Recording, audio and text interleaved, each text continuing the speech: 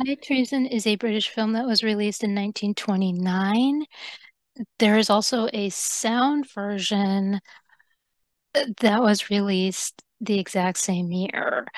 Um, the reason for that is because of the fact that the studio actually wanted this film to be sound instead of a silent film because they wanted to cash in on the the talkie craze. And so a third of the film was in sound and uh, the the uh, sound film is in it, it's like a uh, lavender a fine gray so it's it's a kind of uh, colorized and everything. Yeah I'm not a big fan of the whole colorizing uh, uh, these silent films and everything. And um no I'm not. Because they were colorizing films back then and and all that. But um now this film was it's it's a science fiction. It's futuristic science science fiction. And it was not very well received.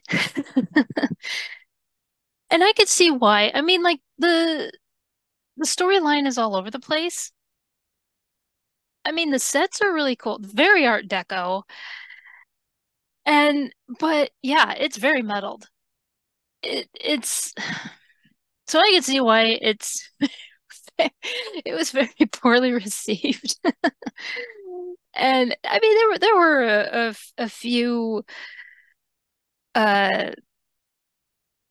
a few people who who praised it and but for the most part, yeah, people didn't like it. And I I had a hard time following it. And but the the story itself takes place now they changed the the decade. It started in 1940 and then in later releases it was changed to 1950, which I find interesting. I'm not sure why they did that, but far I I okay, but so it's set in there's like a war that's going to break out and or like there's tensions happening. And prohibition is still going and in America anyway and I mean like the whole attitude is that it's centered around the idea that prohibition is is the reason for that's what I got out of it is that prohibition and, and see this is why it was so muddled for me is is that because of prohibition that's why there's tension and and now don't get me wrong, I know that other countries have had to deal with prohibition. And but it just and and there was like a shootout at at um at a border and just so yeah, it it was very very very muddled. And and so I just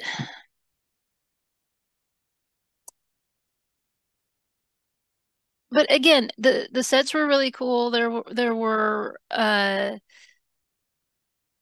it was just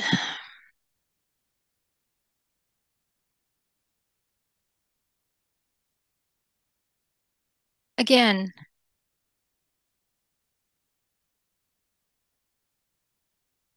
it, it was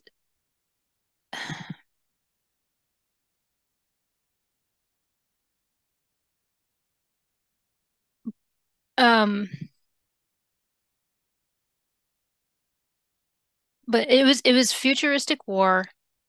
I didn't I had a problem following it. That doesn't mean that you won't. I, I say that time and again.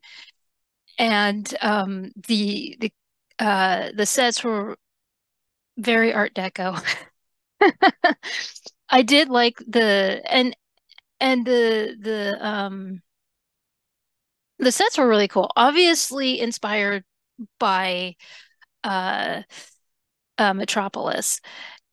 And I did appreciate that and everything. So anyway, this is High Treason. It was released in 1929 and it is a British film.